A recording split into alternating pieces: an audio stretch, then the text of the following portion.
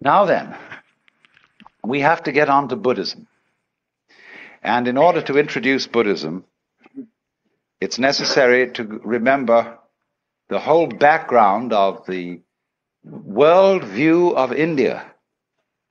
Uh, in other words, what we're going to study, first of all, to understand Buddhism, is Indian cosmology, just as you would have to study the cosmology of the Ptolemaic view of the world in order to understand Dante, and in order to understand lots of things about medieval Christianity. So the, the, the cosmology of the Hindus, their view of the universe, has come right into Japanese life through Buddhism, but it antedates Buddhism. Buddhism simply adopted it as a matter of course, just as now if you invented a new religion, you would probably adopt the cosmology of modern astronomy. Well, now, how does the Hindu see the world?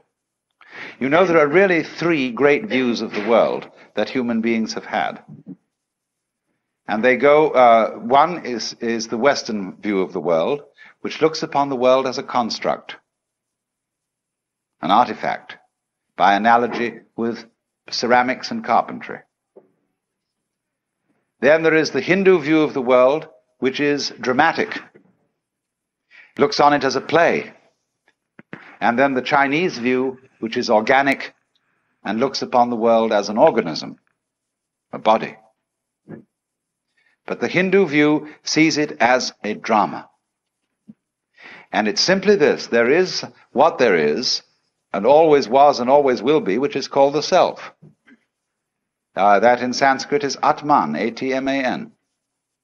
And the Atman is also called Brahman, Brahman, from the root bri, to grow, to expand, to swell, uh, is uh, at, actually related to our word breath. Uh, so Brahman, the self, according to the Hindu view, plays hide and seek with itself for always and always and always. How far out, how lost can you get? So here, each one of us, according to the Hindu idea, is the Godhead on purpose getting lost for the fun of it. And how terrible it can get at times. But won't it be nice when you wake up? That's sort of the basic idea. And I found it's an idea that any child can understand. It has great simplicity and great elegance. Now, in part of this cosmology, we must understand another feature of this conception of the universe. Not only, uh, you remember now the kalpas, the periods of time, the yugas, the qualities of the time through which the universe goes, but there's the final thing, which are called the six worlds, or the six paths of life.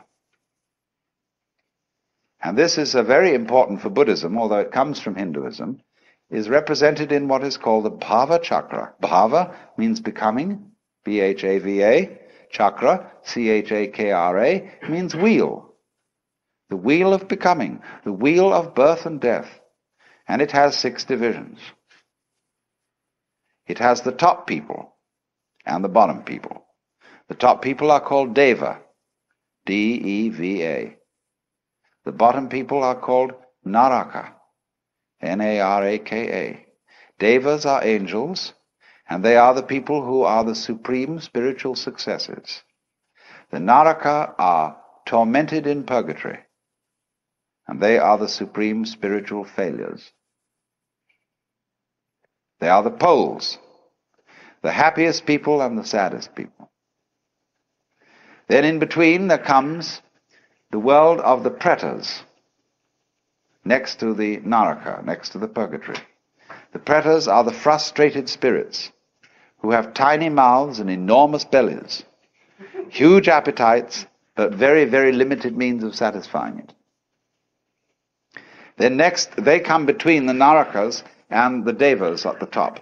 Next up from the pretas are the human beings. And they are supposed to hold a middle position in the six worlds. Then you go up from the human beings to the devas, and then you start coming down again. The next world is called the Ashura, and those are the wrathful spirits, the personifications of storm and all the anger and violence of nature. Next down is animals, coming between the Ashura and the purgatories again. Now, all these needn't be taken literally. They are different modalities of the human mind. We are in the Naraka world when we are frustrated and in torment. When we are merely chronically frustrated, we are in the Preta world. When we are in a state of equanimity, even-mindedness, we're in the human world. When we are deliriously happy, we're in the Deva world. When we are furious, we are in the Ashura world. And when we are dumb, we are in the animal world. So these are all modalities. And it would be said now, this is terribly important to understand Buddhism.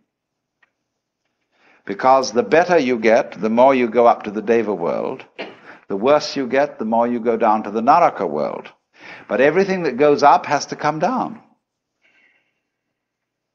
So you can't improve yourself indefinitely. If you improve yourself beyond a certain limit, you simply start to get worse. Like when you make a knife too sharp, it begins to wear away. So the Buddhahood or liberation, enlightenment, is on no place on the wheel. Unless it might be the center. By ascending, by becoming better, you tie yourself to the wheel by gold chains. By retrogressing and becoming worse, you tie yourself to the wheel with iron chains. But the Buddha is one who gets rid of the chains altogether. And so this will explain why Buddhism, unlike Judaism and unlike Christianity, is not very, very frantically concerned with being good. It is concerned with being wise. It is concerned with being compassionate, which is a little different from being good. With having tremendous sympathy and understanding and respect for all the ignorant people who don't know that they're it, but who are playing the very far out game of being you and I. And so this is why every Hindu greets his brother not by shaking hands, but by putting his hands together and bowing. This is why the Japanese bow to each other, basically. This is why Buddhist rituals are full of the bowing gesture, because you are honoring the self, playing the roles of all the people around you. And all the more honor is due when the self has forgotten what it's doing. And is therefore in a very far out situation. Now, that is the basic Hindu view of the world. That's the, that's the cosmology which goes along with Buddhism.